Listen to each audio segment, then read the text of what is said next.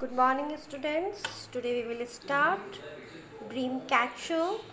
The first lesson of Dream Catcher is the BFG. What is the meaning of BFG?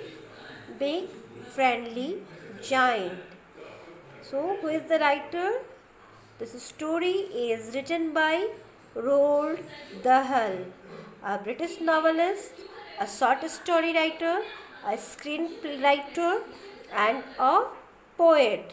He wrote many poems for the children. Few uh, story are The James and the Green Peach, Charlie and the Chocolate, The BFG, etc. So now let's talk about the character. The main character of BFG is a giant and a girl whose name is Sophie. So, what is a giant? A giant is an imaginary and unusually enormous human like being. Now, let's start the story. The story begins with a girl whose name is Sophie. Sophie couldn't sleep. Why she couldn't sleep?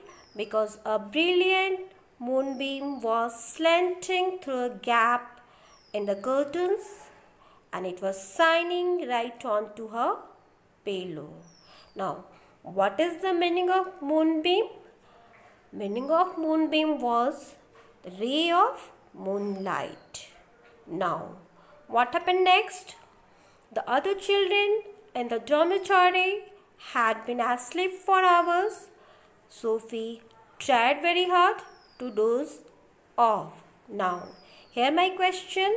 What is the meaning of dormitory and what is the meaning of doze off? Now have a look.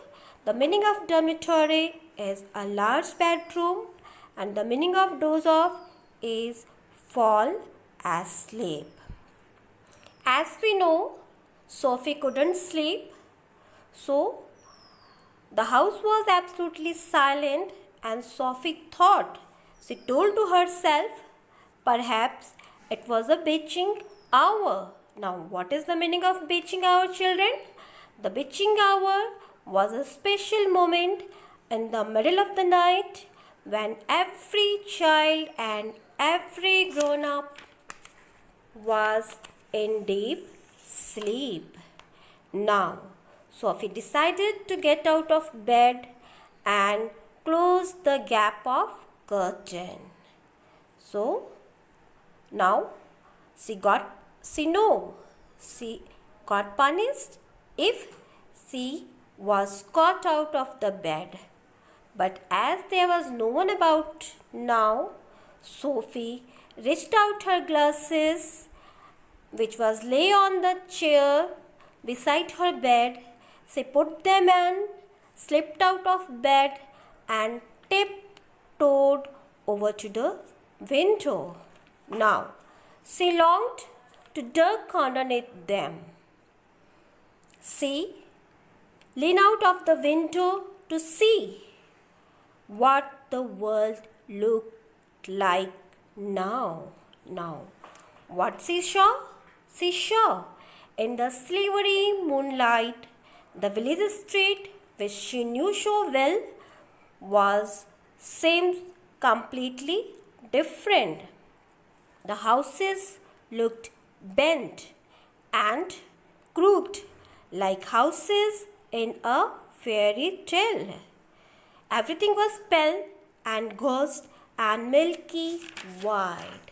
Suddenly, Sophie froze. Why she froze? She froze in fear. And what she saw? She saw something was coming up to the street on the opposite side. And what was it? It was something black, tall, and very thin. It was a giant. Now, the giant sees Sophie.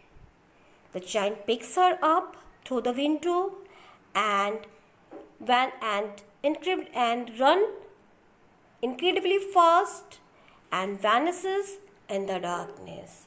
So this is the story children. I hope the story is clear. Now it's time for your homework. What is your homework?